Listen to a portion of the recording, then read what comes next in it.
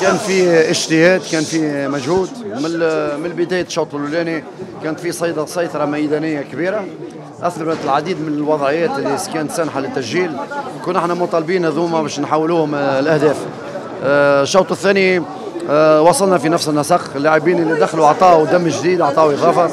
الهدف صحيح جاء في آخر المقابله لكن الكرة أنصفت للفريق اللي اجتهد. والفريق اللي اجرى أكثر والفريق اللي خلق فرص. الأداء بالنسبة لي أنا على مستوى التصرف الدفاعي تحسن على مستوى المردود الفردي تحسن مازالت عندنا نقائص على مستوى نهاية الهجمة على مستوى الكرة الأخرانية. إن شاء الله نمشيو في نسق تصاعدي والقادم إن شاء الله يكون أفضل إن شاء الله. اليوم نحكيو على المقابلة نتاع اليوم الدربي إن شاء الله يوم الجمعة تتكلموا فيه إن شاء الله.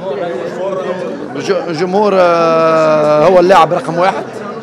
يعطي طاقة يعطي إضافة كبيرة للاعبين.